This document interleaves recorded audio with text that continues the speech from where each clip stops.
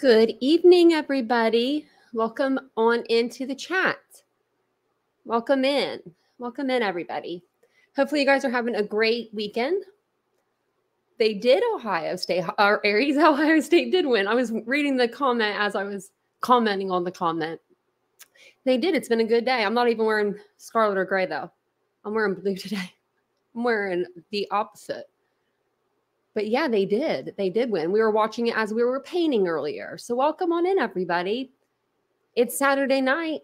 Saturday night. Has it was anybody bored today? Like during the day? I felt like coming live, but I was like, I don't know if anybody is live, like, or if anybody's home on a Saturday afternoon. Like, I don't know if everybody goes out and does their shopping, or if you guys are just kind of homebodies like me, because I was bored today. I was like, is anybody going live? so that's how I was. Well, I'm from Ohio too. Jesus loves me. Look at that.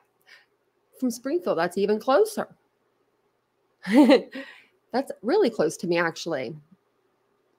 That's awesome. I'm just reading the chat a little bit, but welcome on in. If you guys wouldn't mind just taking a second to hit the like button, it'll send it out into the algorithm. It brings people into the chat, and it's free to do. It's free to do. Oh, hi, St. Jenny. Welcome in, everybody. Hey, Jan. And thank you, Jan, for helping me with tonight's live. She really helped me out. I was like, I love that. I feel like I had a team like going on today. Like last night, Olivia was telling me stuff, and then like about a video, and then today Jan was texting me, and I was like, well, look at me with with a team over here helping me out. I loved it. I felt I felt felt good. But Jan always texts me when there's documents or something's up. But I've been looking forward to this airmail article coming out that came out for Idaho 4. That's what we're going to be talking about this evening.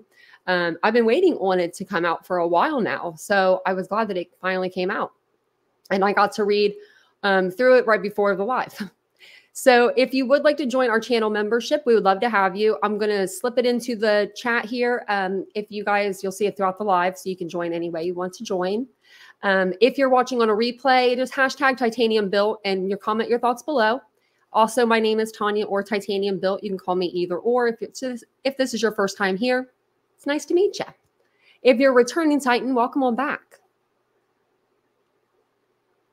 Steve, that sounds like me. I went to Dollar Tree though. he said I made a quick trip to Family Dollar, but otherwise home board all day. Yeah, that was me. Except for I went to Dollar Tree to get uh I don't even what did I get? Oh, bleach, but they didn't have it. So I went to Target. So I went to Target today, actually. And I got to wear my new Target outfit into the Target. It only took me two Targets to find this whole complete outfit. you guys said you liked it. So that's why I got it when we were on vacation. Oh man, Aries. I, I thought I saw that on the news, something about that. You have been sleuthing around, Jan.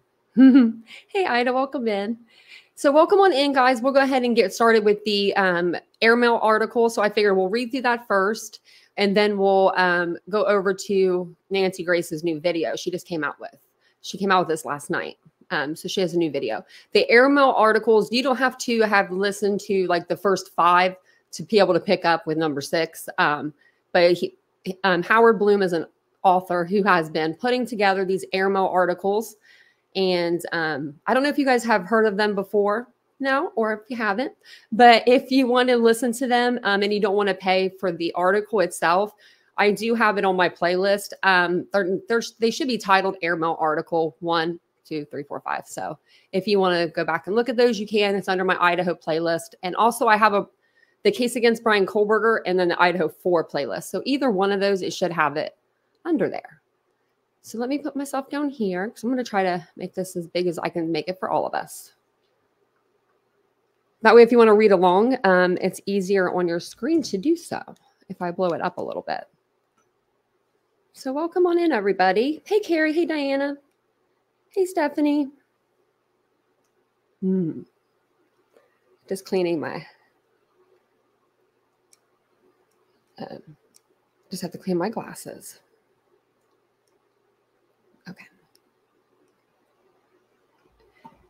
So this is, like I said, this is Howard Bloom. I'm going to try to read this the best that I can for you all, but we all know that Howard likes to make them long. And he also likes to put in words that nobody's heard of before. Like they're not just like long words, they're literally I'm like, what does that even mean? I gotta look up the definition. So if you need any of the definitions, just let me know. I have them. I know them now. I've looked them up. There's Olivia. Welcome in. Where's JLR at? Where's what's he doing? What's he up to? I just see. I never. I don't follow him. I don't know why. He'd be a good one. He was yelling at someone the other day. I was going into court. I was like, look at him go. He loves to do that. That's his thing. That's his thing. Um, so this is the eyes of the killer part um, six. After a few false leads, a grieving father turned amateur sleuth discovers the prosecution's hidden ace. That's Howard Bloom there. So he, yeah, just came out the seventh. I don't even have my watch on, so I don't even know what time it is. Um, people say heals. Um, people say time heals all wounds. They tell you you'll get over it. I'm to actually blow this up a little bit for us. I have it actually already blown up a little bit. Okay, we're to blow it up to that. oh, wow. He does show up everywhere. He's so funny. Um, I would never want to be in trouble with the law because I could just see, I could just hear him yelling, "They're going to get you for this, Tanya." Like, you know, that's what he usually says. Um, so here's the article. People say time heals all wounds. They tell you you'll get over it, but they never they but they've never buried their child. That stays with you. It works on you. It sinks in deep and never lets go. Solace, not a chance, but still you try. You discover anger. You vow vengeance. New theories are irresistible. They hold the promise of elixirs. You go all out, hot pursuit.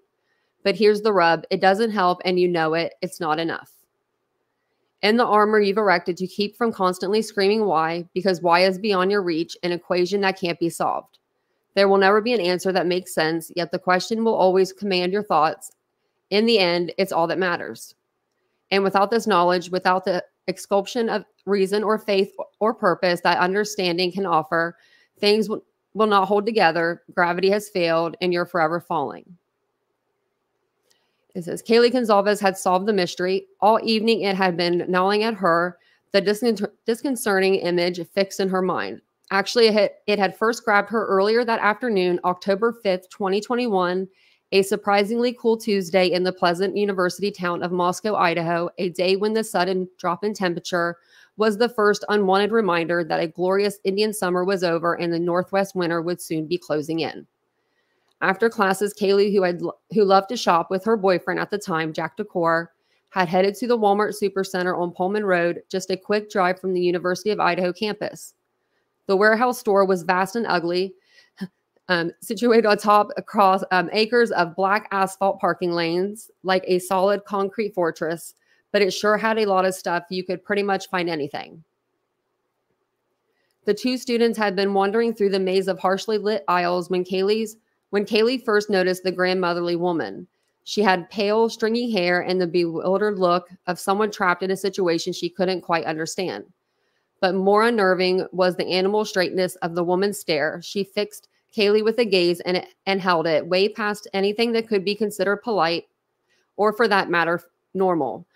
True, it wasn't threatening, but it was decidingly odd. Only in retrospect would Kaylee decide it had been beseeching. I'm going to move the chat over here so it's a little easier to see you guys.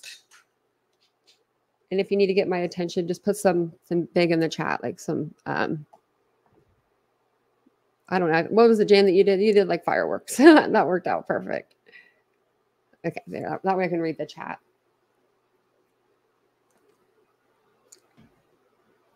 Um,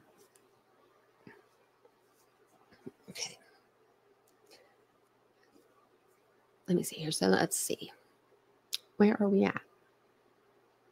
Then, when Kaylee and DuCoeur were at the checkout counter, she happened to look up absently, only to discover that the woman now standing at rigid attention with her back to a wall of shelves had once again homed in on her with the um with the same unremitting stare. It was creepy. What is up with her? Kaylee wondered. And now, hours later, she knew she had just seen the face again, this time on a missing persons flyer. The woman Kaylee was convinced was Sharon Archer, a frail 62 year old encumbered by diabetes and brain damage, who had abruptly vanished a week earlier from the house she shared with her husband up north in Coeur d'Alene. The couple's car, a 2013 white Toyota Highlander, was missing too.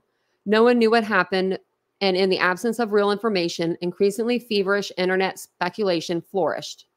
The scenarios ran the gamut from a mental breakdown to more fanciful schemes involving abduction or murder.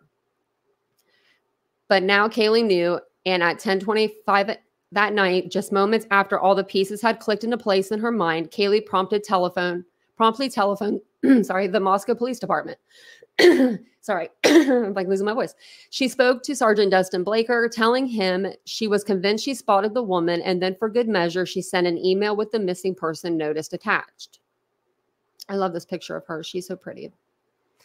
Despite the late hour, the sergeant, a barrel chested weightlifter with just over a year on the force, consistent.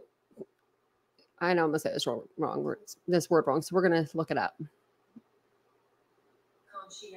I don't know why I was saying it wrong, but I was. Conscientiously went to work. Officers were dispatched to the Walmart parking lot and they had combed through its darkness, its dark recess, sorry, for the tail, tall tail uh, Toyota. That's like a tongue twister. Tall tail Toyota. At the same time, calls were made to local hotels asking if a woman matching Sharon Archer's description had checked in. Both searches were fruitful. And assessing the Walmart surveillance camera video proved to be nettlesome. It had to be postponed until the next day, and then too turned out to be another dead end. As it happened, it wasn't Kaylee's call that solved the mystery. More than two anxious weeks passed before an angler perched on a dock noticed a bulky shaped entombed in the lead gray depths of um, Fernan Lake, a popular fishing spot about a 10 minute drive from downtown Coeur d'Alene. When police lifted a white Toyota Highlander from the water, a body lay inside. The autopsy identified the corpse as Sharon Archer, and while the specific circumstances of her grim death remain conjectured, no foul play has been charged. The investigation into the case petered out soon to be overtaken by fresh tragedies. So that was the that was the you know, we've heard about the case of, you know, Kaylee um like she thought she had seen somebody like she thought she we I thought I had heard that she did help find the person in that case, but I guess they she didn't help find the person um necessarily, but she did call because she thought she saw her. So um only now in December 2022, a little more than a previously unimaginable year later, the Sharon Archer case and the minor role his daughter played in the hunt suddenly reared up in Steve Goncalves's newly agitated mind as if summoned, signposed as he searched for the means to make his way through the battering pain of his own be bereavement. For Steve and his wife and the remaining four children have been brought low. And it says here Airmail reached out to Steve for comment, but Steve's attorney said neither he nor his client can comment due to a gag order. So just keep that in mind. Um, less than a month earlier, in the dreary pre dawn darkness of November 13th, 2022, Kaylee, her best friend, Maddie Mogen, who might as well have been another daughter to him and his wife, and two other University of Idaho students, Xana Kernodle and her boyfriend, Ethan Chapin, were gruesomely stabbed to death in a house a stone's throw away from the heart of the campus. The unknown killer, or was it killers, he wondered, was still at large. It was an inconsolable loss and an unfathomable crime. Steve struggled to make sense of his emotions in the aftermath of his daughter's murder. His incoherent anger um, roiled, raw, and unfeathered. One day he um, railed with a with an uncomprehending anguish um, at the cosmic injustice of it all. You can't imagine sending your girl to college and they come back in an urn. He grieved openly to a group of reporters. You're numb. You can't absorb that amount of pain and agony. Next, he chose to target the. Um, let's read. I don't know this word, guys. So we're going to look it up. Capricious. Capricious, if not lackadaisical manner with which he had decided law enforcement was attempting to solve the murders. I do not feel confident, he responded with a vehement candor then asked on a news show about the police investigation. And that's why I pushed the envelope and say a little bit more. Yet, even as he made himself available to nearly every journalist who reached out to him, Steve couldn't help feeling he'd confided to a friend that all his felt or heartfelt proclamations, everything he had been calling necessary truths added to, up to added up to little more than a sort of feeling indulgence, self-indulgence. Sorry. Um, I'm to read that again. just going to start that whole paragraph over because that just was bad. Yet, even as he made himself available to nearly every journalist who reached out to him, Steve couldn't help feeling he confided to a friend that all his heartfelt proclamations, everything he had been calling necessary truths, added up to little more than a sort of self indulgence. His public sharing of his anguish and misgivings gave him little comfort. I hate to be that guy, he would say. Even more disheartening after all his years as a father, all devoting himself full time to doing what he thought best for his children, he was confronted with the devastating reality that there was nothing more he could do for Kaylee, nor could he identify a clear headed strategy to lead his grieving family forward. Never had he been so unprepared, and yet never had his family needed so much. His grieving family needed him like never before, but he couldn't figure out how to lead them forward. He was at a loss. And that's when it hit him with a jolt. For no apparent reason at all, he suddenly found himself recalling the frantic um, frenetic speculation surrounding Sharon Archer's disappearance and how his daughter had unhesitant, hesitantly thrown herself into the investigation. And with her actual participation, now a detective, a barrel had in effect been crossed. What had previously been a diversion had become real. It dawned on him too that he too had been transformed into a character in an even more poignant and notorious true crime story, a perplexing mystery that had captured the nation's attention. For weeks, he had been struggling on, no dogma, no emotion.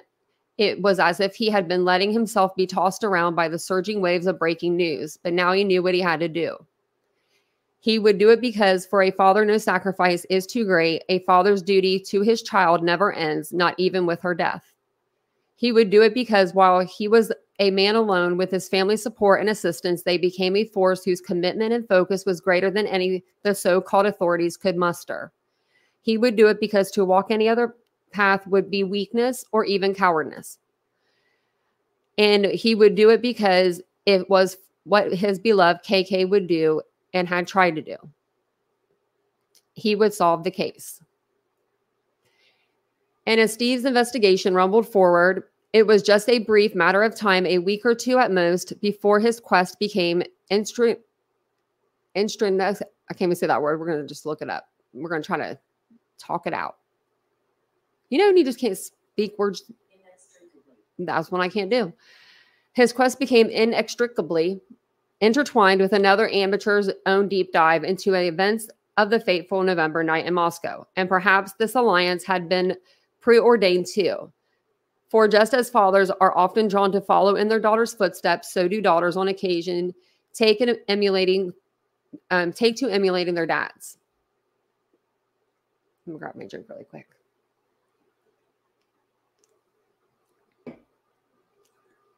Oh.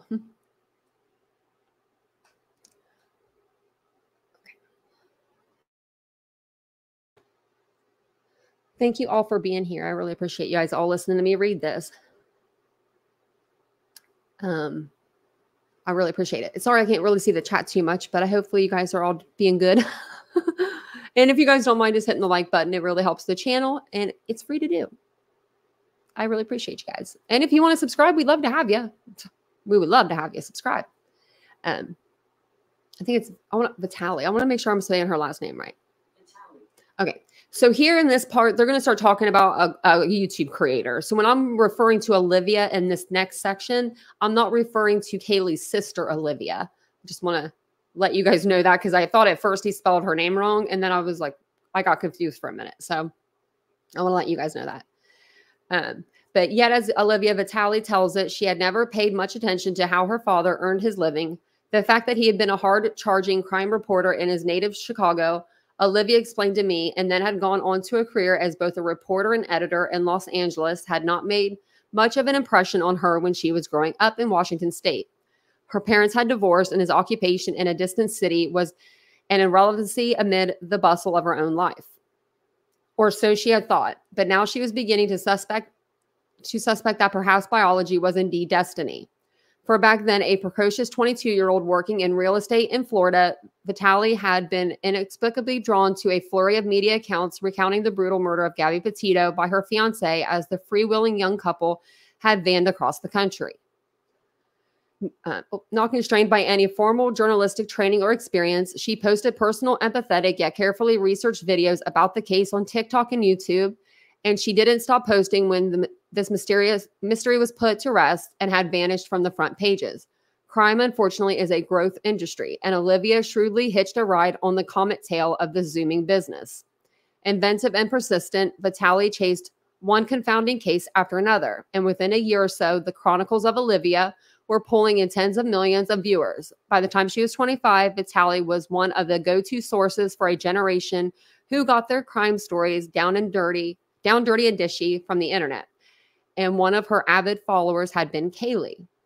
Well, thank you so much, Jan. That's so nice. Thank you. The 80s kid. yeah, uh, I, I feel the same though. He likes the big words. He really this guy he, he this guy loves the big words. And I'll have and I'll have someone in the comments. They'll someone in the comments will be like, "You just were terrible at reading that," and I'm like, "Well, I'm sorry." I'm trying over here. um, Steve had discovered this connection when he and his oldest daughter, Olivia, so now we're talking about Olivia, because her she spells her name A L I V E A, if you're just wondering. Um, were audaciously checking out Kaylee's phone for clues ever since she had decided to sweep all the ex- extraneous emotional debris cluttering his mind aside and instead to live by his wits. He'd been on the hunt. The two of them had gone through the list of contacts, reached out to Kaylee's friends, and helped to reconstruct the last hours of Kaylee and her best friend Maddie's information they shared with authorities. They had been they had also discovered a persistent series of phone calls in the wee hours of that morning from Kaylee to her ex-boyfriend Jack DuCoeur. Calls that had gone unanswered. Star-crossed young romance, or could it be something more ominous? Steve quickly passed that intelligence to on to the cops. So apparently it was Steve that was telling the cops that they called. Yet when the Moscow PD similarly hooked Jack up to a lie detector and administered a DNA swab to compare with evidence found at the crime scene, he passed both examinations with flying colors, according to one of Steve's friends. Steve, however, was still not completely I'm going to say persuade because I don't know the word. Nothing about the murders made any sense. And so everything seemed possible. And so when a grieving Jack came to the Goncalves home not long after the events to pay his respects, Steve gravely demanded that the young man submit to an indignity to the indignity of a physical inspection. Jack promptly rolled up his sleeves, lifted his shirt, exposed his neck, and displayed his hands, both palms up and down, while Steve meticulously searched in vain for a telltale search or scratch or bruise. But Steve was not done. Caught up in his newfound forensic professionalism, I didn't know about this part. I don't remember hearing about this part on the Chronicles of Olivia um, interview. He took a series of photographs documenting Jack's unblemished state. It was exculpatory evidence that would come in handy, he felt, as the authorities proceeded to compile their list of suspects. And with that bit of awkward business out of the way, the two grieving men finally embraced. In the days that followed, Steve tracked down Hunter Johnson, Chapin's frat brother and best friend. Just before noon on November 13th, Johnson had been summoned by the two distraught survivors at the King Road house, where he had discovered Ethan's body. Days later, he gave his eyewitness account to Steve as a soldier might straightforward, factual, and without either embellishment or emotion. It was only when he finished that the two men, both overwhelmed, at loss at last convulsed into tears. So apparently Hunter Johnson told them what he told the Goncalves's what he found, and then they both were crying about it. I mean, I couldn't I can't even imagine that. I can't even imagine going through that. Like I mean, think about when you were 20. Like think about where your brain and your head was and like where you were as a person. Like me personally, I wasn't I wasn't near grown. Still not. I'm gonna be 38 in a couple weeks. So Oh, thank you, Be Happy, for gifting out five memberships. Thank you. Jan gifted five. Be Happy gifted five. We're going to have all kinds of members. I love that. Thank you guys so much. that's thanks for supporting the channel. I appreciate it. Um, so I guess you know that's about that's we know about Hunter Johnson now. So um, Steve also made a point of knocking on the doors of the house adjacent to the murder scene and interrogating the neighbors. He was going where he thought he had to go, but his mission had not uh, produced the desired result. Over a month had passed and there had been no arrest, only vague statements about a missing Hyundai Elantra that had been spotted near the King Road house the night of the murders. The authorities had yet to name a suspect. It was infuriating. The prospect of his daughter's murder becoming one more cold case was torture. But as much as he needed to see a perp being led off in handcuffs, he also was was or sorry, he was also chasing after something else. He needed to know why. Why these kids? Why this house? Why had this nightmare enveloped his family's life? Okay, I was just making sure my camera was on um, so you guys can see me. Where are we at? Um, for his own peace of mind, he required a motive, and without this knowledge, nothing in his life from November 13 onward would ever make sense. It was, he'd explained, those current uh, currents of frustration and perplexity that pushed him nearly six weeks after the murders to double down on his detective's mission. He decided he was done with working quietly on the sidelines. He made up his mind to go public to proclaim his new ambitious vocation and to ask for help. He would make a public appeal because Steve was certain that even if the police had failed to locate them, there had to be people out there who knew more about the sharing, about, um, or sorry, knew more than they were sharing. People, particularly students with some dodgy antics to hide, might be more willing to whisper secrets to a mourning father than to a judgmental police, than to the judgmental police. And with his plan set in mind and an affirming nod to Kaylee's memory, Steve reached out to Olivia Vitale. Olivia thought it was a hoax, one more internet fabrication. She did not believe that Kaylee's father had actually contacted her, and so she didn't respond. But it kept nagging at her. Was it possible that the email had been sent by Steve Goncalves? And if so, could it be she be on the verge of a scoop? And so with a dil- so with diligence, she belied her 25 years. She tracked down Olivia, who confirmed that in fact her father's email that was her father's email address. Excitingly, Olivia wrote back. It was pragmatically brief courtship. Both would profit from the Goncalves's appearance on Chronicles of Olivia. And more serpentipently, Olivia was already in Moscow. It'd be just 90 minutes straight up I 95 north to the Goncalves home. The meeting was quickly arranged. And I don't know why they're calling her producer Bullhorn Betty, but that's what they did in this article. And I just think that's kind of funny because it's not. Vitale was filled with trepidation as she and her producer, Bullhorn Betty, set up inside the family's yellowish living room with the interview for the interview with Steve, Olivia, and Christy, Kaylee's mother. Without any network impromptu, Vitale had landed the sort of scoop that a generation earlier would have gone to Barbara Walters. But the Idaho murders was a news story owned by a new breed of journalist, an event sustained by the nonstop, fulsome attention it received on the internet and that was the interview. Um, if you guys didn't see that, you can go to Chronicles of Olivia, or I have them all under a playlist. Under the playlist, I have all of the um, Kaylee's family's interviews chronologically, like put into. Um, I think we did two lives for Kaylee because there were so many interviews. But then we did one for Ethan, we did one for Xana, and we did one for Maddie. We did one for each person. Um, it has them all in there so that you guys can kind of see um, just like what they're saying and you know how they how they perceive things and, you know, stuff like that. So, hey, Bridget, welcome in. I just happened to look down at perfect timing. Hey, Mount Mama, how, hey, how are you guys? How is everybody? I looked down for a second. Uh oh, got better look back up. I'll stop reading.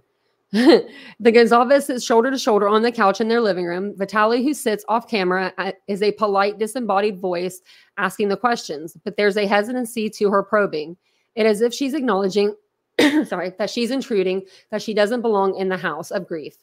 And her reaction is understandable. Steve's face is grave, solemn, and expressionless, as blank and flat as an empty piece of paper. Watching the tape of the interview, one can feel the harsh tension in the room. Will the Goncalves reconsider and order Vitale and her producer to turn off the camera? It seemed very possible, even likely. And then something remarkable happens. The Goncalves seem to surrender, perhaps accepting the absurdity of the situation of their sitting in the in their living room talking to a stranger young enough to be one of their children about their innermost feelings with a video camera aimed at them like a weapon. That's kind of a bad way to put things. A restraining wall comes tumbling down, and like all mourners, they begin to talk about the past. The heartfelt memories of Kaylee poured out. Yet Steve has not forgotten his agenda, and he is soon back in the present. He wants to let the com- um, complacent authorities know that they can what they can expect from him. He wants them to understand that if he can't get the job done, if they can't get the job done, he will. Staring into the camera, he proclaims with an earnest passion, "We are not going to bed and wait for other people to solve a family problem. This is a family problem." And he continues to drive home the point that he's on the case. We're not going to sit here and let someone else do a job that we can add value to. He's determined, as he puts it, to make an impact, to listen to what people are saying, to be a part of solving it. He needs to feel he volunteers with an affecting candor that I gave it my all. I did everything that I could. That's so sad. That's just a that's a dad. I mean, and a mom would do that, but you know what I mean? Like that's just a father and child. um, I swear I've been losing my voice since I went to the dentist. Um, I haven't lost it yet. Yet he also acknowledges his limitations. He opens appeals for help in his, his hunt to find the killers. This takes a whole community, it takes all of us to solve. This is on us, Steve says, staring into the camera that has now become his ally, focusing directly on his audience. Are we going to let these people exist? And then, as if the entire hour long interview was built up to an uttering a single ten, ter, uh, sorry, single terse yet unflinching pronouncement, and with his face as somber as the graveside mourners, he states, I'm telling you right now, we're coming for you. It's as much of a warning to the killer as it is an, um, an loose. We're going to, okay.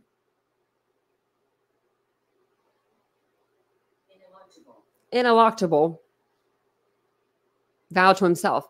But ineluctable, ineluctable. Someone tell me that they've heard that word before because I haven't in my whole life. 38 years I've been on this earth. What does that say again? I'm sorry, guys. I, ineluctable. Does anyone know what it means? I'm gonna, I want to look it up. Bet you can't even look it up. What does it mean? Okay, it means to avoid. Oh, wait, no, unable to resist or avoid. Okay, well, I didn't know what that word meant. So if y'all did, you get, you know, you get a little bingo slip today, like a little bingo chip. Um, However, two days after the interview was posted online, a 28 year old graduate student in criminal justice at Washington State University was arrested as SWAT team of state troopers stormed into his parents' home across the country in Albrightsville, Pennsylvania. Bryan Kohberger was swiftly extradited back to Idaho and charged with the murders of the four students. Steve's hunt was over before it had truly begun. He could at last hope to find a measure of peace. Oh, hey, Miss Linda. Oh, you're like, I think that you are like the the oldest member I have, and not I don't mean age wise, Miss Linda, but I think you are 10 months. Oh my gosh, I love that. I love that. It may be like there might be a couple, but I think that you might be. Oh man, we've been you've been we've been you've been here since Idaho, then since 10 months, because it'll be next month, it'll be like, yeah, it'll be a, a year. Wow. That's next month. Holy cannoli, this year's gone by, guys. Um, this year has really gone by. My birthday's this month. I just I, I should know that it's my birthday this month. Should know month we're in, but just seems like it goes by so fast. The doleful one year anniversary of the murders is looming, and the parents of the victims, if their public utterances accurately reflect the spiritual accommodations they've forged, have managed to find ways of existing with the memories. For Jeffrey for Jeffrey Kernodle, Xana's father, the process ha- had involved a sort of benign surrender. This happened, you know. What do you do? He said on CBS show before answering his own question. You can't do a damn thing. Stacy and Jim Chapin, Ethan's mother and father, have meanwhile sought solace, solace by setting up a foundation, Ethan Smile, that will award scholarships to honor their son's memory. The charity is funded largely by the sale of bright designer mix of tulip bulbs, sweatshirts decorated with flowers, and fresh cut tulip bouquets. The Chapins live in Washington State, Skagit um, Valley, the flowering heart of the nation's tulip industry. but Steve Goncalves has found neither res- um, resignation nor acceptance. The arrest of a suspect, in fact, has brought not a sense of, of finality, but only broadening resent- um, resentments and further nagging questions. For one thing, he remains determined to make sure the authorities have arrested the right man. And while he has grown increasingly convinced that Kohberger was involved in the crime, Steve remains open to the possibility that others might also have been involved, according to texts provided to Airmail.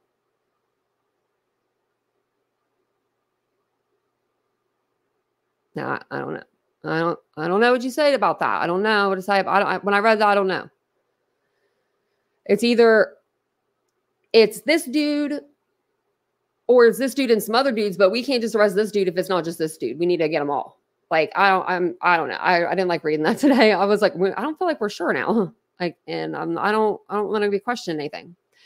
It seems. It seems to him quite possible that there are more perpetrators that there were more perpetrators in the house on King Road on the night his daughter and her friends were killed. And if they were, they must still be at large. I'm going to grab my drink.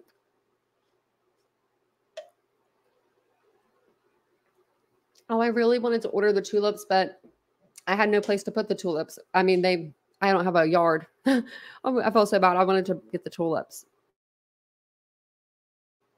And I think I asked Vincent if we could send him to his mom, but I think, I don't know why we didn't do that. I forget why. Something about the weather out there.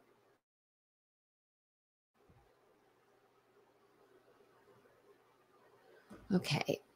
And thank you guys again for being here tonight. I appreciate you guys so much. Um, let me know what you guys are thinking of this Airmail article because like, it's that that part really got me. Um, there's Bryan when he first got arrested. There's Mc, McSteamy cop. that guy was so adorable. I thought we all thought he was. Um, no, none of us was looking at Bryan Kohberger in that picture. He is furious that Kohberger's trial, which had been scheduled to start on October 2nd, has been postponed indefinitely. He fears he complained that the trial won't occur for many months or even years. And he's particularly incensed by the no nonsense gag order that severely limits what the law enforcement authorities, the lawyers, and the families of the victims can publicly say about the case. It is not just that he deems this viola- a violation of his fundamental constitutional rights, rather, the hypocrisy of a Pacific specific intelligence has created a vacuum that's being filled by rumors, half truths, and crackpot, crackpot lies. And once these malignant seeds are planted, they grow tall and wild on the internet. Steve needs answers, not rumors. And so, despite the arrest of a suspect, he has not abandoned his quest. And it's not simply vanity, the belief that one middle aged guy with only a background in IT can get to the bottom of things. It's fear that propels him the fear that if he waits passively for the cops finally to share what little they have managed to uncover, it might be too late. The remaining unidentified perpetrators will have gone to ground, and justice will not be secured, nor will he ever get the terrible satisfaction of knowing the whole story. He will never achieve the state of grace that comes, he wants to believe, with understanding a motive. He will never know the answer to the question of the beating heart of the case. Why? We may never get that answer. I hope we do, but I, we may never. Um, and so for the past year, he has plowed on. It has not been easygoing, so or always fruitful. For one cool example, early on, an enticing tip came his way, according to the text from a source he described as a jailhouse snitch. It was a tale that offered a tie up all the loose ends of the case and spurred on about or spurred on that promise both Steve and the private detective he had been um, hired fanned out their inquiries into several states. Oh, sorry, energized by the intoxicating possibility that he was on the verge of ac- accomplishing what the professionals had failed to do. But in the bitter end, it was nothing more than an elaborate con, a malicious scheme to squeeze some money out of a grieving family's misery. The experience was demoralizing. I didn't even know about that. Yet Steve persevered only to be conned again. A grain, grainy light bulb cam video of the King Road neighborhood came his way that proved Kohberger wasn't the lone killer.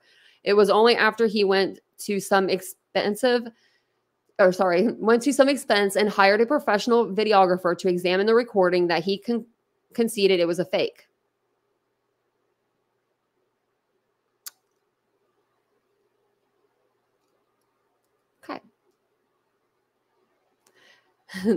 then there was a decision to leak a video or a timestamp video of another vehicle tearing away from a street adjacent to the murder house just before dawn on the murder on the morning of the murders to one of the true crime internet sites. I'm going to read that again. Then there was his decision to leak a time stamped video of another vehicle tearing away from a street adjacent to the murder house just before dawn on the morning, morning of the murders to one of the true crime internet sites. His logic was that it was very possibly game changing evidence, it needed official scrutiny. But this video too was also deemed a fake. And in the end, his tangible um, role, I don't know, that's not, okay, so, tangential, tangential, tangential, tangential role in its dismission became a bit of an embarrassment.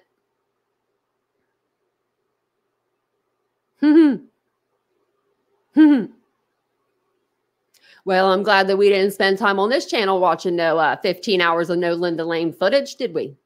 Nope, we didn't. We sure didn't because we sure just wouldn't do that. I'd rather watch paint dry anytime, any day of the week. Sam, man. Steve came to two unwavering conclusions. One, the internet theory suggesting that a drug ring had been involved in the killings were ludicrous. No pro is going to rough up someone not knowing who all is in the house. He texted a friend. There were, he pointed out, usually only three girls in the King Road house. His daughter, who had completed all of her coursework and would graduate in January, had just come down to Moscow for the weekend on a whim to show Maddie her new Range Rover. Explain to me how a hitman missed Ethan and Kaylee's new car. A professional would have been daunted by the presence of two additional people in the house that night. I'll grab my drink really quick. Sorry, guys.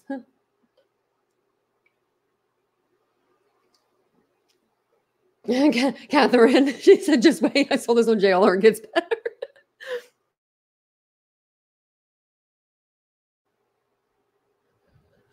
Anna, I don't think he, I don't think he's, yeah. Tangents, things. Thanks. We'll get there, won't we? Okay. Um, and as for the rumors of a drug deal gone bad being an underlying motive, Steve had been told by the authorities that the tox- toxicity reports on all four of the victims established that they were they had no drugs in their systems. Okay, so apparently no drugs were in their systems. I know we're still going to hear that though, but I'm going to read this again and as for the rumors of a drug deal gone bad being the underlying motive, Steve had been told by the authorities that the toxicology reports on all four of the victims established that they had no drugs in their systems. Besides that they wanted to score some pot, there was no need to get involved with the street dealer. The kids he pointed out could go down a street and in 8 miles there were there was a store where they could easily make a buy despite the fact that marijuana remained illegal in Idaho. Kristi, his wife, went with them, went with them once to check it out. He texted the friend. So I guess there's a place you can get it. Two, there are some crazy ass people who are really crazy, who are trying to elbow their way into the case with deliberate misinformation. Scream it to the people in the back. But not all of Steve's investigative efforts have been in vain. He had assembled a oh I hate these stupid words, of blue chip sources that he revealed to several friends, including an FBI agent in the St. Louis office, who had shared his personal email so that his bosses in the bureau didn't learn that he was communicating with Steve. A handful of additional sympathetic law enforcement officers, and most helpful of all, a conduit of to two of the grand jurors who had been on panel that had voted to indict Bryan Kohberger. And in the process, he had compiled some startling revelations, hard won information that he triumphantly disco- disclosed to his newfound internet associates. Okay, so this is what Steve's saying. Or he's got this from the FBI people, I guess. Kohberger had purchased a dark blue Dickies long sleeve work uniform at the Walmart in Pullman, Washington not long before the murders, Steve had learned. Now, your girl we've been saying that on this channel over here. I know you guys have been saying in the chat too. We looked it up. We said we thought there was a receipt for Walmart and we we we laughed about it because why do criminals go to Walmart? They have the best cameras, but they also have the best deals. So the authorities had a copy of the $49.99 receipt and they also now had a theory to explain how Kohberger had managed to escape from the crime scene without a scratch and without leaving an incriminating drop of blood in his getaway car or his apartment.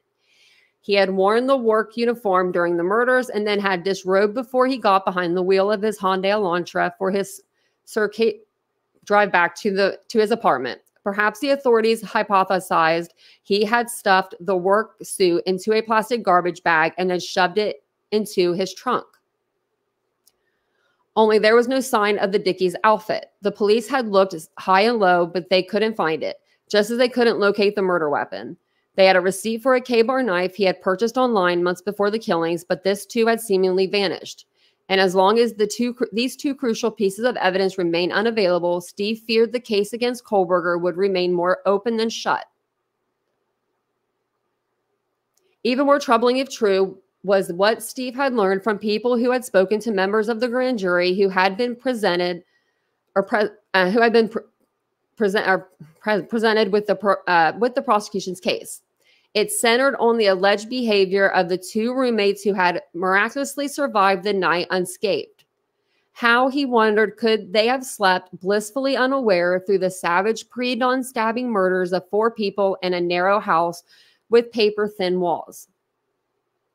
Later, a police affidavit revealed that one of the survivors, Dylan Mortensen, had in fact heard noises and left her room only to spot a masked, darkly clad intruder making his way through the residence before she retreated to her room and did not summon help for another eight hours for reasons that have never been revealed.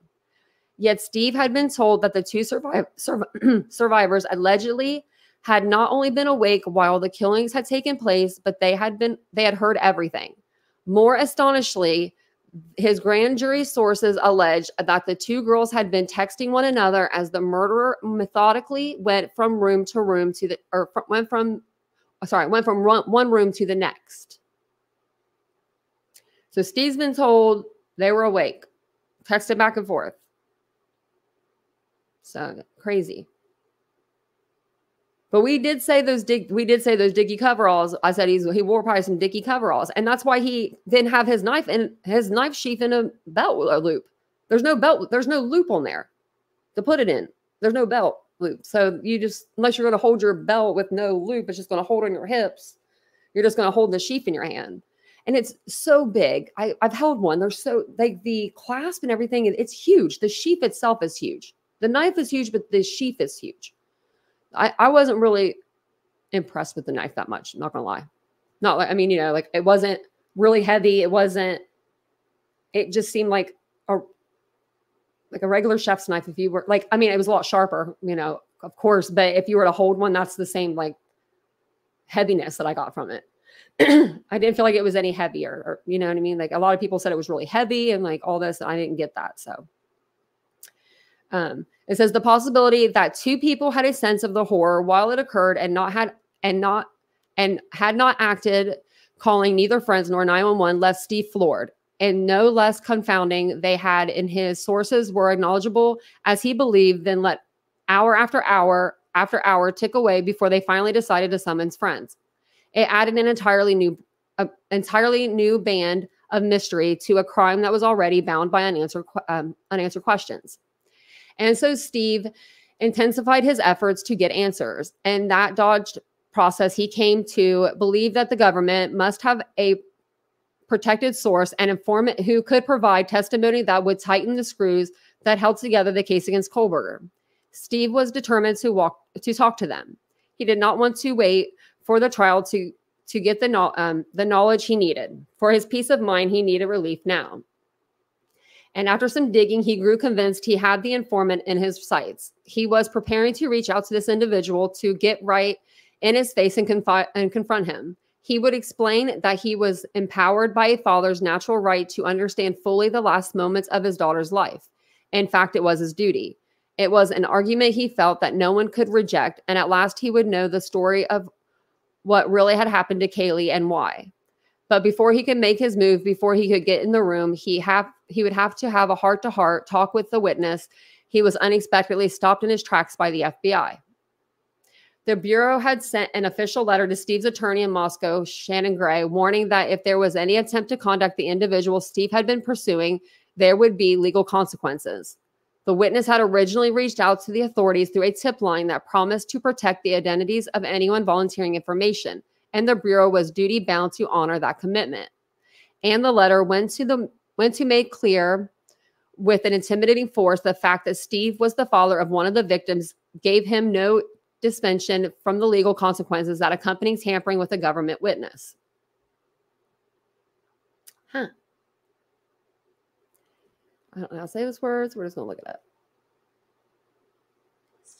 Stymied, Steve skulked away. The promise of real understanding was out there, yet still tantalizing beyond his grasp. And with this setback, he fell into a period of stasis. Racked by his frustration and despair, all he could do was send a disheartened text to one of his fellow internet detectives. There is so much more to this story than is on than is in the media. Memories live in the past. Dreams, however, are part of an idealized version of what the world might become. In dreams, the poet, the poet noted, begin responsibilities, they hold the future. And so thwarted, thwarted in his sleuthing, still staring with bitterness at hard mysteries he cannot crack, Steve had expanded his focus. If he cannot conduct the investigation provoked by his memories of his daughter, he will at least ensure that at some distant appointed time there will be a measure of justice. Before on the Goncalves family Facebook page, he and his wife and his daughter Olivia, along with their other relatives, appear in hoodies displaying a steely message Justice for Kaylee, House of Bill 186, shots fired. The Idaho State Legislative legislator bill 186 passed last spring affirmed that if the chemicals required for an intravenous execution were unavailable, a death sentence could be fulfilled by a firing squad. Just want to let everyone know too, like it, Bryan Kohberger ain't getting sent to the firing squad today, tomorrow, next year, 10 years from now, 20 years from now. Like there's a guy that's been on their death row for like 40 years now. Like he's still just sitting comfortably hanging out. So you know, when people were like, they're like, there's he sent they're sending him to the firing squad. They're not really they're not sending him anywhere right now. So um, just want to let everyone know. It is an unforgiving promise Steve is making. Yet, can I, I father too? Calvary um, criticize the wild dimensions his bereavement encompasses. Who am I to challenge the intensity of his grief? True. How can I dare to point out the terrible irony in avenging murder with murder? In the end, all I can do is acknowledge it with a strange, frightening tale was set in motion on that night in Moscow last November, and that Steve mm. has become another victim, and that his future, oh, sorry, and that his future is now hate, and that his future is now hate. I don't think that his future is now hate. That's a little, now that's a little saying a little much. I'm probably drink, guys.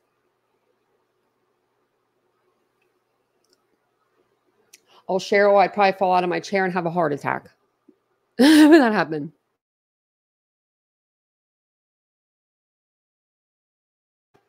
So I wonder who the witness could have been.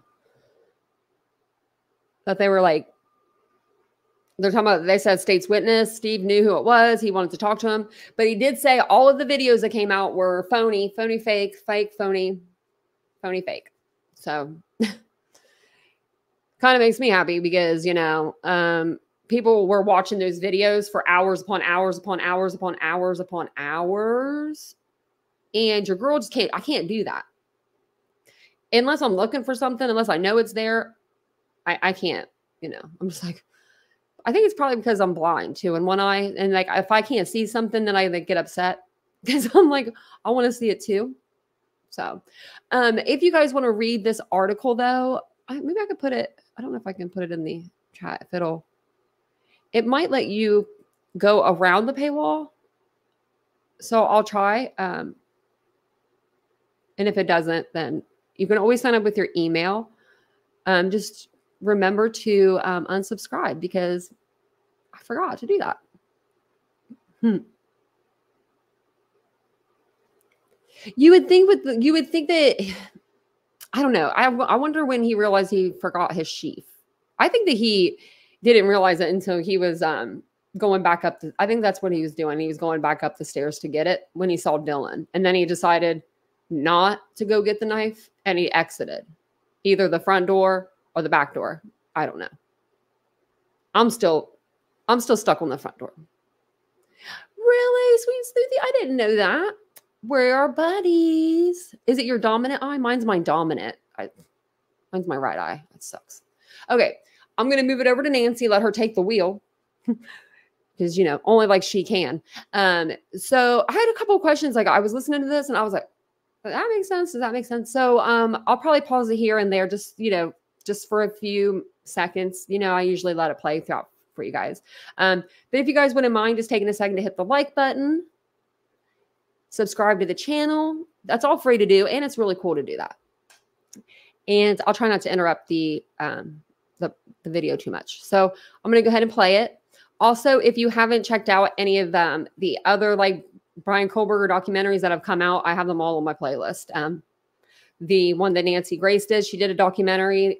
Fox Nation's done documentaries. We have all the documentaries, and we have really old ones too.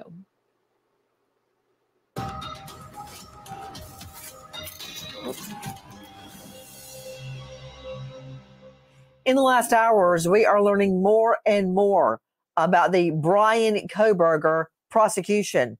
As all of you legal eagles know now, Kohberger will face trial in the murders of four beautiful University of Idaho students.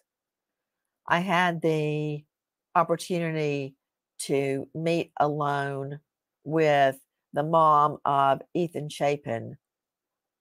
Her resiliency is amazing after what all she and the other victims' families have been through. And on the footsteps of that meeting that I will never forget at CrimeCon, we are learning more and more about the crime scene. And I only wonder if all the parents are privy to very, very disturbing information that we are learning. For instance, allegations that one of the victims was essentially trapped and couldn't get away. That many believe Maddie, Madison Mogan, was the intended victim. Why? This, as the court is actually considering a closed courtroom for various hearings where no one can be present, which is contrary to everything that the justice system stands for open courtrooms that there may very well not be cameras in the courtroom so we can't see what's happening as the case unfolds. And of course as you know the defense has withdrawn the demand for speedy trial. This case is on hold for indefinitely. As the question looms is bryan kohberger actually an incel, an involuntary celibate, leading to intense hatred of women. I'm Nancy Grace. This is Crime Stories. Thank you for being with us here at Fox Nation and Sirius XM 111. Take a listen to Kristi and Steve Goncalves on 48 Hours. The bed was up against the wall the headboard was touching the wall and the left side of the bed was touching the wall. And we believe that Maddie was on the outside and Kaylee was on the inside. According to Coroner Mabbutt, the killer's first victim was Maddie, says Steve. And then from Maddie, he moved on to your daughter. You believe she had awakened at that point? Hmm. Yes. Yeah, there's evidence to show that she awakened and tried to get out of that situation. The way the bed was set up is what She was trapped. I didn't mean to already interrupt it, but I was going to show you just so you guys know. I don't know what is going on with this website, so I can't like move around it like we normally can. But this is how the bed is set up. Like the bedroom is set up. Um, the door, if you're looking right now, it's off to the left of the screen. And so in the bed would have been Kaylee towards the wall, and then Maddie on the end or edge of the bed, you know, on the outside of the bed. I just wanted to give you guys that visual so you had a little bit of a visual to go with um, what was going on in the podcast or in the video. So Let me get it back over here now for you guys. She was trapped.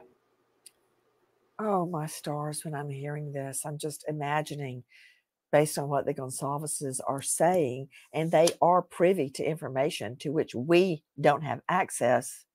They believe their daughter was trapped, that Kohberger did not anticipate Maddie Mogen having anyone else in the room. Is that what they're saying with me? An all star panel to make sense of what we are learning uh, first of all, to Rachel Schilke, breaking news reporter for the Washington Examiner. Rachel, thank you for being with us. What is he saying? What is Mr. Goncalves saying? Well, he's thinking that there is evidence that maybe his daughter's best friend was the target and that his daughter just was an unfortunate victim of a horrible crime and that it's possible that he only wanted to kill one person and just the way events unfolded, he ended up killing four. I'm not sure that I, I could buy into his theory that one of the girls was the intended victim and that finding two girls in one room made him think he had to kill the other person, which would have been Kelly. But then why go on to other rooms and kill more people? uh, with me, as I said, an all star panel right now to Professor Forensics, Jacksonville State University, author of Blood Beneath My Feet on Amazon, and star of a hit series, Body Bags with Joe Scott Morgan. Joe Scott Morgan joining us. Joe Scott, explain to me the significance of the furniture possibly being moved, one bed pushed away, the bed was set up, uh, according to Mr. Goncalves, trapping his daughter. Yeah, the bed was essentially cornered, if you will. So you've got one. If you imagine the right, if you're laying on the bed and your right over your right shoulder, that corner of the bed would be pressed against the wall. So okay, wait, wait, wait, wait. Say that again very slowly so we can all envision. Yeah, sure, sure, no problem. So if you're laying in your own bed at home, mm-hmm. just imagine you're laying in your bed, and if you imagine over your right shoulder, the head of the bed is cornered in the right corner of the room. Okay. Okay. That in, that what what happens is that increase that that creates a barrier where you have a wall immediate to your right, then you'll have the wall behind your head. So there's only two ways to actually escape out of that bed. Either you go over the foot of the bed, which I believe is adjacent to the doorway, or or you go off of the left side of the bed. And if there is, unfortunately, in this case, what they are saying, at least allegedly, is that you have one victim that is deceased to the left or the outer aspect of the bed. Uh, and if you have some savage that is on top of you in this environment, he's pressing you down. He may be leaning over the body of an individual that's already deceased and he's attacking you. There's nowhere to go, Nancy. Uh, these are they're they're not big, robust, muscular women. These are you know kind of diminutive ladies that are in this bed. Uh, the attacker is probably rather large, uh, and he's wielding a knife. And just imagine the thing that's always come to mind with me with this knife attack is almost like a classic sewing machine where the needle goes up and down, up and down and this this is what you have where you have this attack that's going on simultaneously between the two individuals you're going to have somebody in this particular case we're referring to, who we're referring to as Kaylee, she's going to have an awareness that she's being attacked, Nancy. Her pain centers are firing. She's trying to get away. Maybe, and this is only a maybe, she has this awareness. The evidence is is perhaps that she's raising her arms up to try to get away to fend him off. And I would imagine she has some pretty ghastly defensive injuries. I want to hear that sound again, if you don't mind, Jackie. This is Mr. and Mrs. Goncalves. This is, of course, Kelly Goncalves's parents speaking to 48 hours. And I want to take in everything they're saying. Listen. The bed was up against the wall. The headboard was touching the wall, and the left side of the bed was touching the wall and we believe that Maddie was on the outside and Kaylee was on the inside. According to coroner Mabbutt, the killer's first victim was Maddie, says Steve. And then from Maddie, he moved on to your daughter. you believe she had awakened at that point? Mhm. Yes. Yeah, there's evidence to show that she awakened and tried to get out of that situation. The way the bed was set up is what She what was trapped. she was trapped. Maddie is being identified by Coroner Mabbutt as the first victim.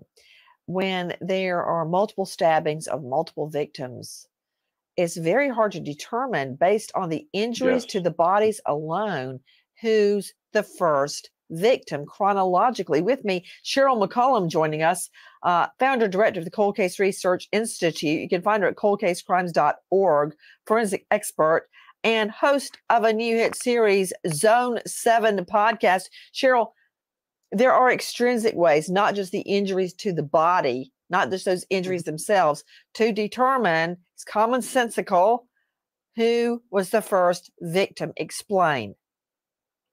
Well, number one, it was her bedroom that he entered first. Number two, That's assuming he knew and had identified who would be his first victim and knew which one was their bedroom. correct. But again, when you've got somebody that enters on the second floor and goes to the third floor first, that was his target. He went where he wanted to go first for a reason. That's the order he chose. The other thing is she's probably not going to have any defensive wounds because she was asleep. Whereas, you know, Kaylee would probably have some because she did wake up, but there's another factor, not just the wall where the bed was up against the wall, but keep in mind she was under covers. So if he put his knees on that bed at all, those covers also help trap her. So there would be injuries to the sheets, to the comforter, to her, you know, pajamas in some way. So those are the kind of things we're looking for. That he enters the home on the second floor, goes up the stairs. There's no reason if he's just entering that house to kill people that he would go up those stairs. That to me is for a target. He enters her room first. That's the target. Okay, So- to you, Joe Scott Morgan. Uh, I agree with everything Cheryl McCollum has just said. Um, the medical examiner and the coroner has stated that clear he, to him, it's clear Maddie was the first victim. I'm thinking, in addition to what Cheryl said, that we see other clues, such as let's let's hypothesize if Maddie Yeah. was the first victim, that would make Kelly Goncalves the second victim. They were in the same bed together. Um, their DNA could be on the knife as it stabbed the other victims. So that would indicate they were stabbed first. Their their DNA on that knife would absolutely be transferred to victims three and four.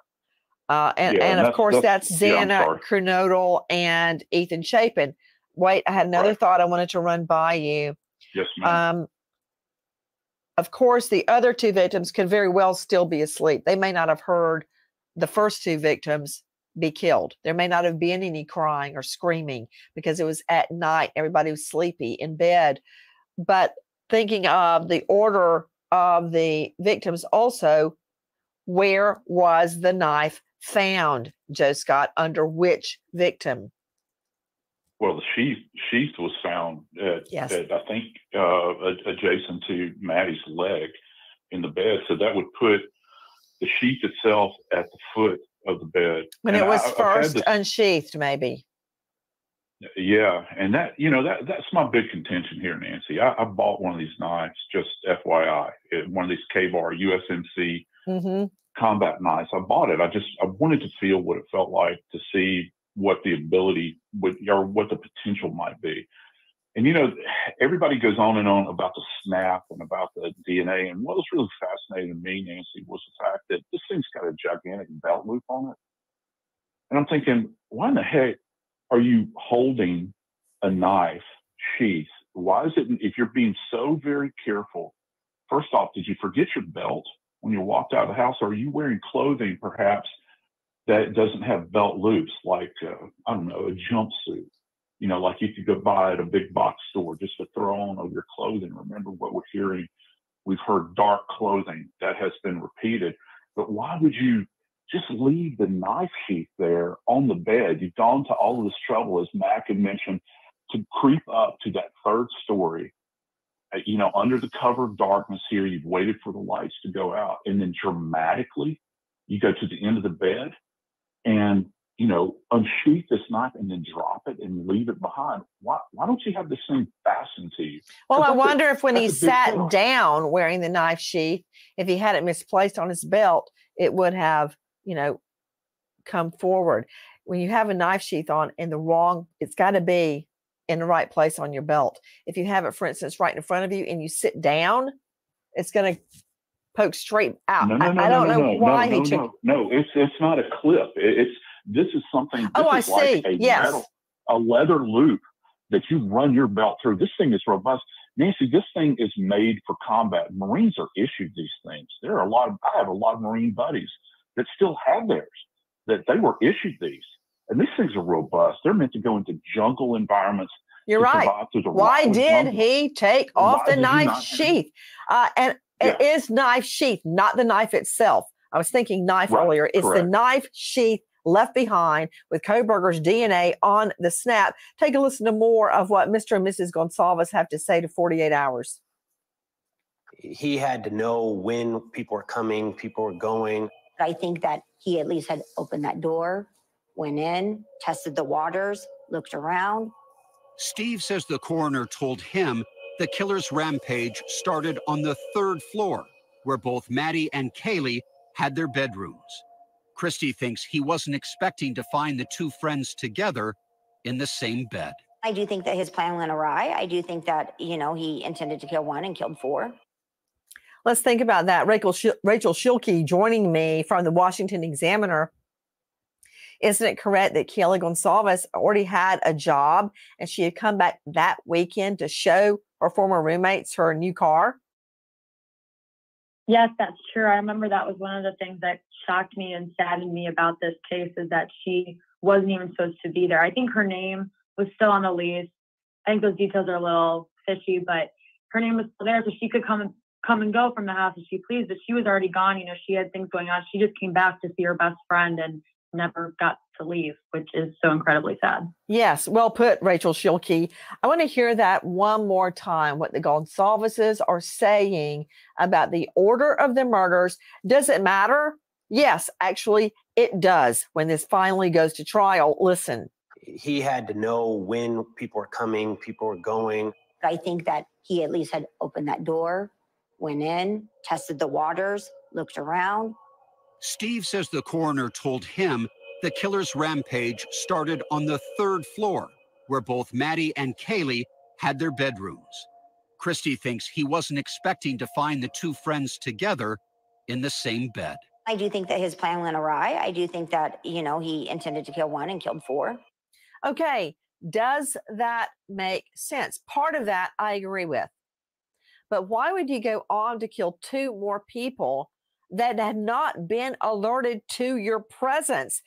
Tara Malik is joining us, attorney, co owner of Smith and Malik, former state and federal prosecutor at smithmalik.com.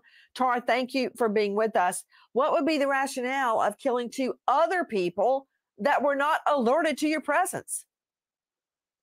Well, we we simply just don't know enough yet. I mean, they may have been alerted to the presence. He may have gone on some sort of killing spree. You know, he's got these two people that are in his clutches. He may have gotten some sort of weird adrenaline rush or, you know, high off of taking these two lives and moved on to other people in the house. I mean, if if you're um, a killer who's going into a house and perhaps you're caught off guard by the fact that there's more than one person, you may have had one person as a target in mind, you may start panicking and being worried about the fact that you're going to have witnesses, other witnesses who may be present in this house that you weren't expecting. And maybe your intent is to get rid of those and really um, try and get away from the situation without leaving a trace. And if um, Kohberger is uh, and was the killer, and if he's the type of person who, you know, was obsessed with uh, evidence and committing the perfect type of crime, that may have been a thought that was running through his head. Let me ask you this, uh, guys. Uh, Tara Malik is a veteran trial lawyer. does it make a difference?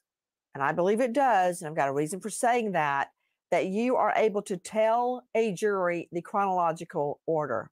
Yeah, I think it does make a difference. I mean, when you're presenting a case to a jury, they even though one of the elements isn't the chronological order of what occurred, the jury the jury is going to want you to paint a picture for them of what occurred when and where. They're going to want those types of answers. This presentation of evidence has to make sense to this jury. You're trying to convince them beyond a reasonable doubt that this person has committed the crime here. And so you're going to have to track this person's movement throughout this house. You're going to have to track the evidence throughout this house and paint that picture for them, as gruesome as it may be here. So, for all of those reasons, I think it's very um, essential for this jury to understand, whatever jury is picked for this trial, to understand what occurred and exactly what order it occurred in. Um, and when we're tracing kind of the forensic evidence and details of it, you know, you've got you've got a witness, um, a roommate who was not killed, and they're going to be part of this story as well, and they're going to be presenting what they saw purportedly exactly. in this house too. So when you're explaining this to a jury, you have to have your story down and it has to coincide with the physical evidence or the defense will tear it up when they get the Mm-hmm. witness on cross examine witnesses on cross examination. Dr. Carla Manley joining us, clinical psychologist and author of Date Smart at drcarlamanley.com. Dr. Carla, um, many people believe that there's a certain order and a certain method that Kohberger had to the murders. Weigh in. Absolutely. And it makes sense when you look at someone like Mr. Kohberger, who has incel tendencies, where there is an underlying misogyny.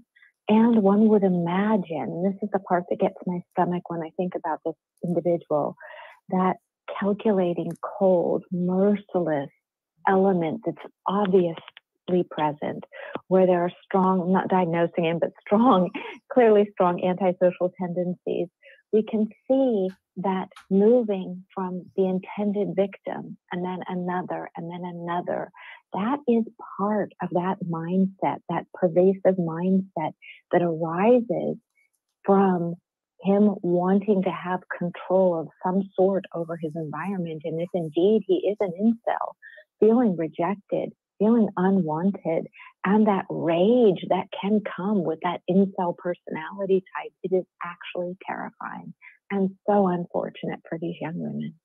The disturbing theory of the existence of a quote, kill kit, kill kit has reared its ugly head. Take a listen to our cut 554, the Goncalveses again. He was there to kill. He came in with a kit. I believe he had a kill uh-huh. kit. And you believe that everything right down to the implement of destruction, this large marine knife, that was all planned. All planned. It's inhumane. You wouldn't do these type of things to any living creature, let alone an innocent human being. We've heard of kill kits before. Take a listen to our cut 17B from ABC. We're talking about a prolific serial killer, Israel Keys, who had kill kits hidden all over the country.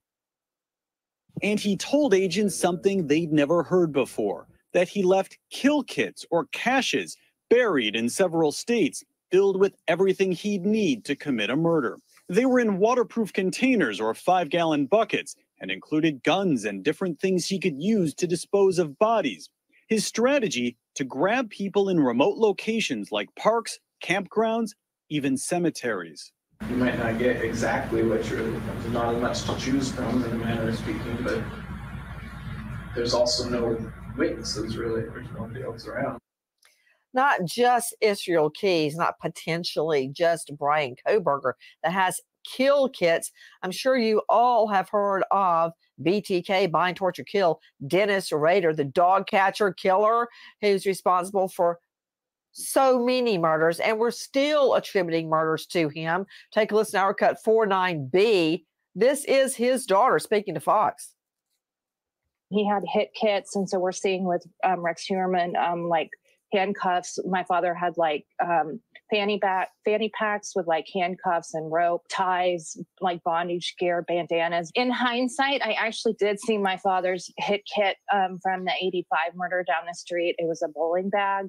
Um, it was like he didn't bowl, and so that was weird in hindsight. But at the time, my dad just had a lot of weird oddity bags around. To Cheryl McCollum, cold case uh, investigative research director. Cheryl, what is a kill kit? It's a kit where the person is prepared to do what he thinks needs to be done in a murder scene. It's going to have a weapon.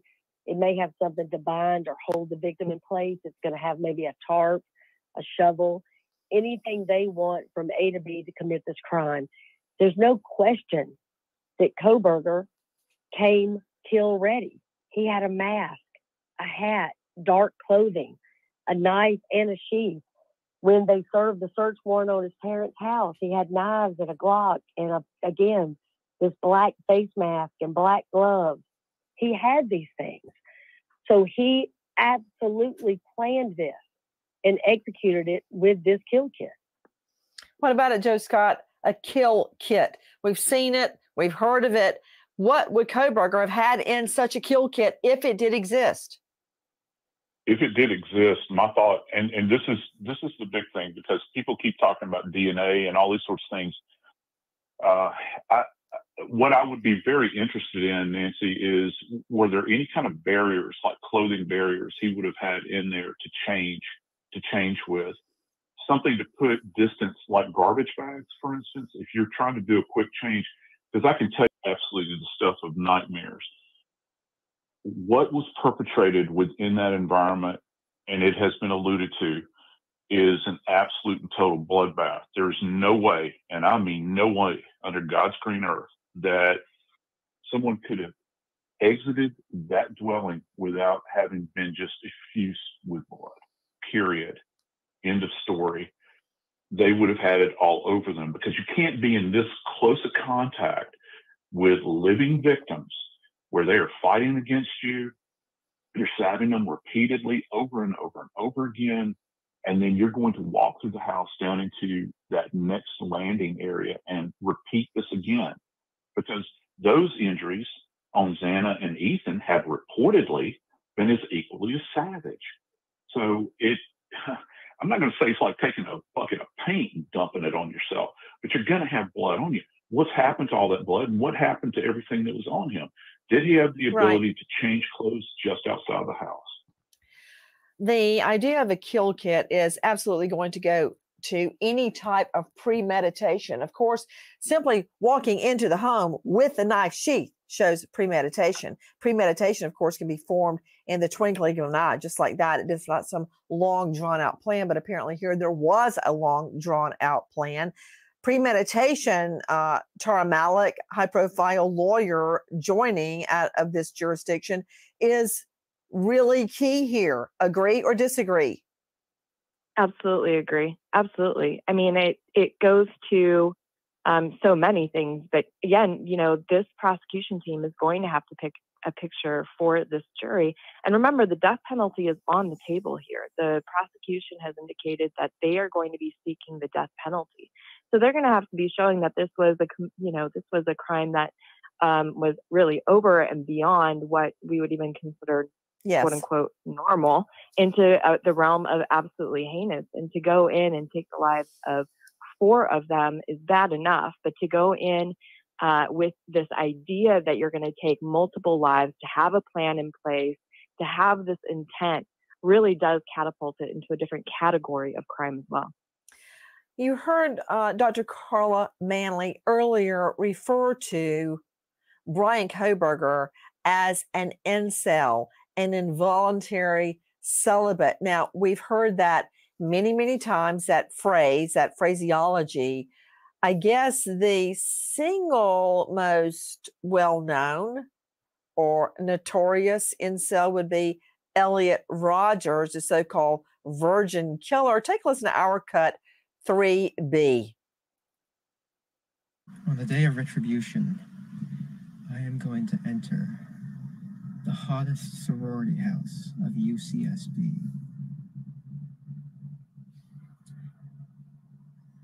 I will slaughter every single spoiled, stuck up, blonde slut I see inside there. All those girls that I've desired so much, they would have all rejected me and looked down upon me as an inferior man if I ever made a sexual advance towards them. While they throw themselves at these obnoxious brutes, I'll take great pleasure in slaughtering all of you. You will finally see that I am, in truth, the superior one, the true alpha male.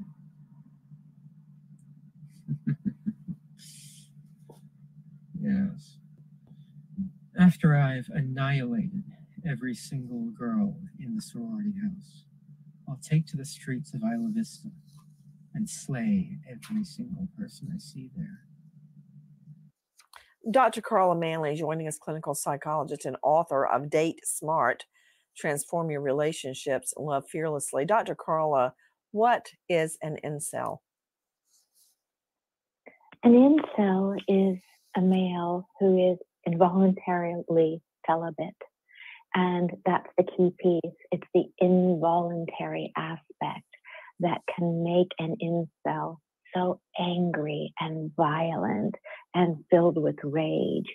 And in fact, we sometimes talk about incel rage, and there are individuals who are incels who even claim that them being denied their sexual wants is a reverse rape.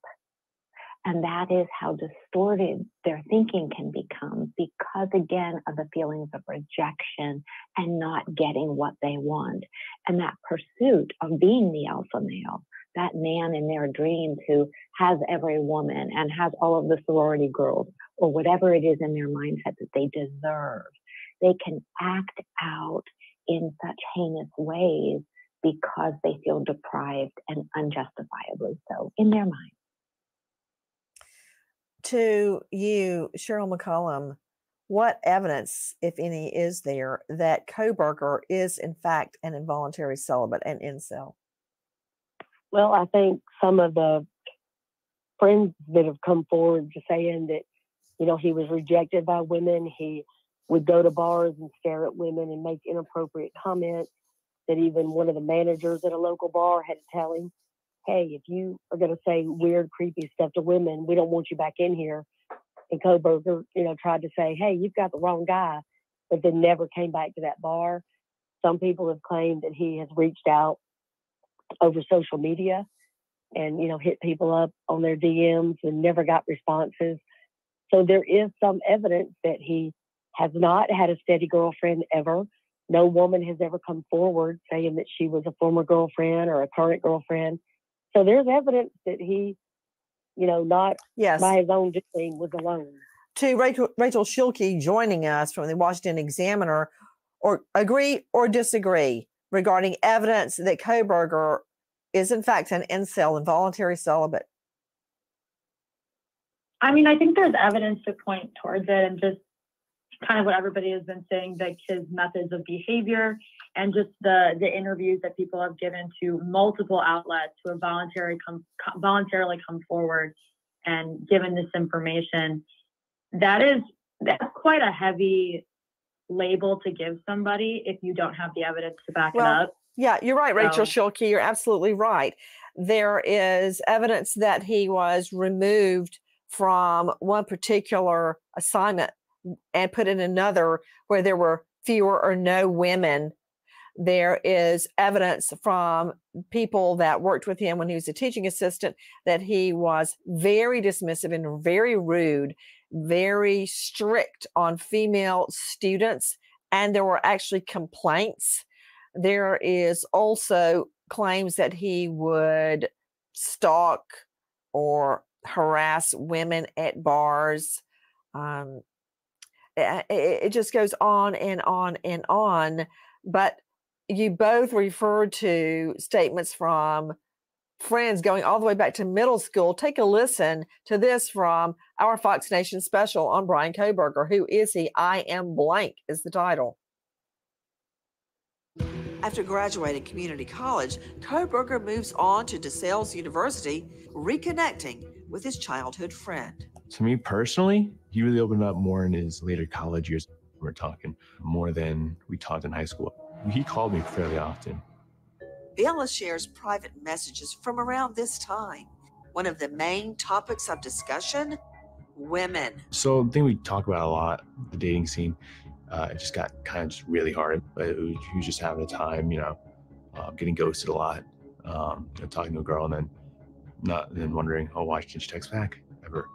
And then also be like, yeah, I, I was talking to this girl and or this girl was cute and I thought we hit it off and we didn't, I guess. So you'd vent about stuff like that to me.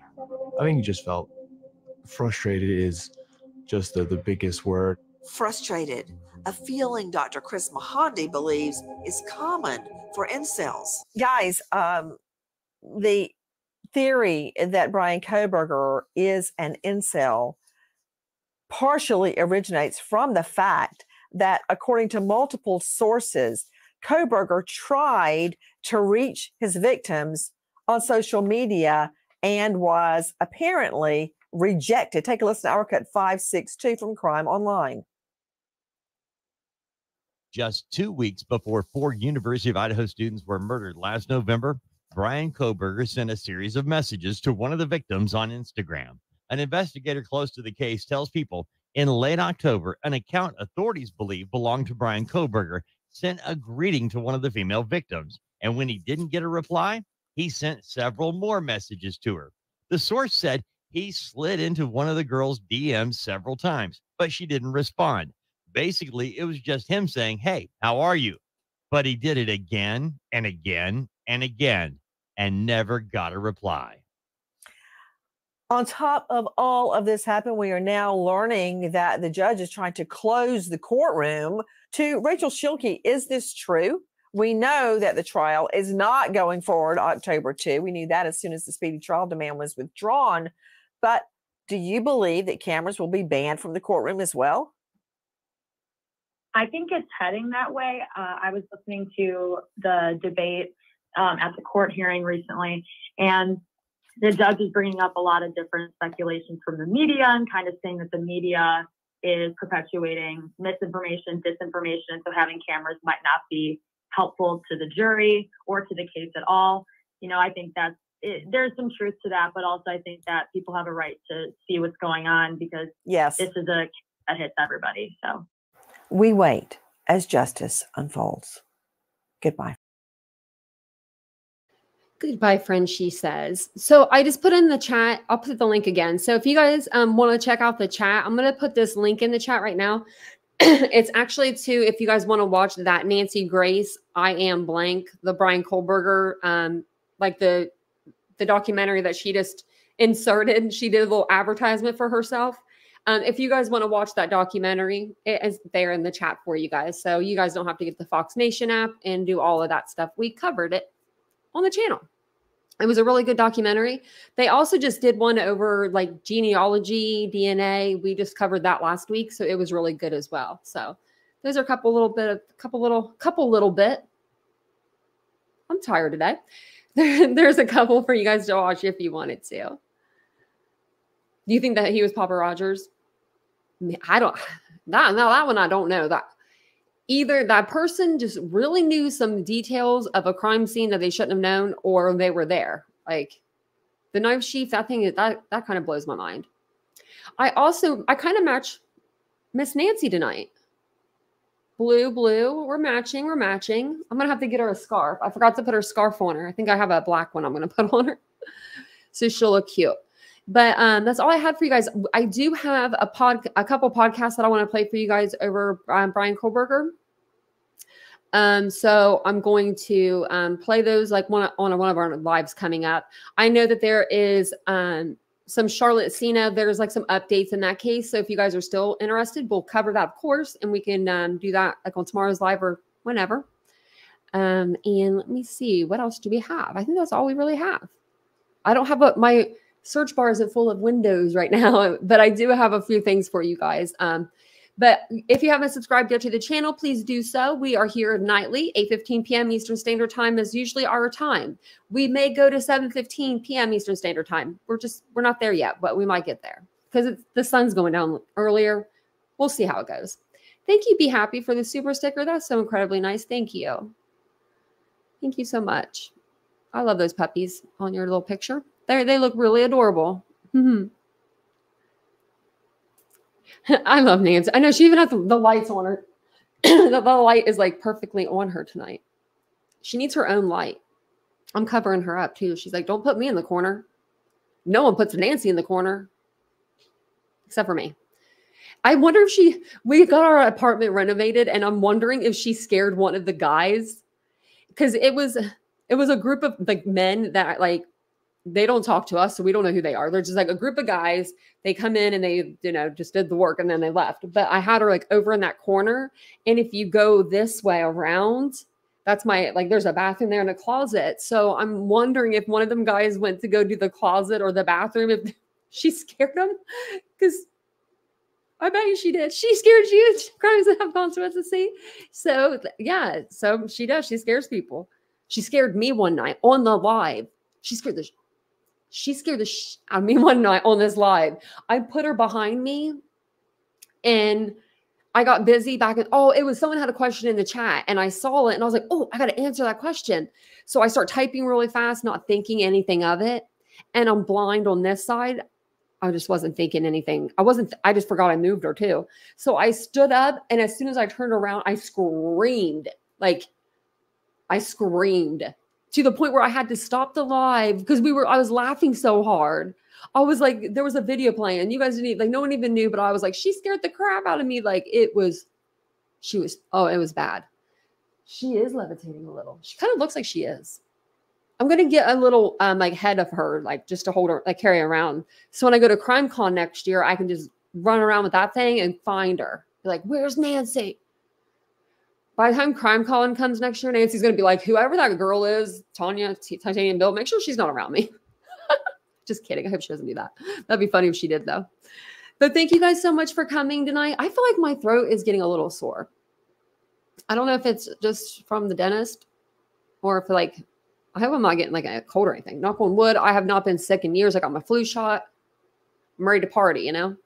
But thank you guys so much for being here tonight. I'll be on tomorrow, 8 15 p.m. Um, Actually, I may be on a little bit earlier because it's Sunday. Normally on Sundays we'll do sometimes we'll go a little earlier. Maybe we'll do a members live. We got some new members to welcome in. So I'll see you guys all tomorrow. Have a good evening. Thank you guys so much for spending a little bit of your time with me, and I will see you guys on the next live. Bye, guys.